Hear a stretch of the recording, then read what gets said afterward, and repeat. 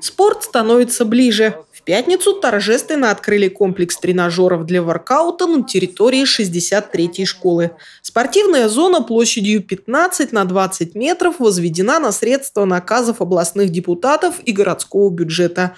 Общая стоимость более полутора миллионов рублей. Новая спортивная площадка позволит ребятам всех возрастов заниматься уличной гимнастикой на безопасных тренажерах. Первыми опробовали новинку ученики школы, для которых 15-минутную тренировку провели инструкторы одного из городских фитнес-клубов. Это только начало. Сейчас работы по обустройству аналогичных спортивных комплексов ведутся во дворах еще трех ивановских школ – 14, 28 и 41.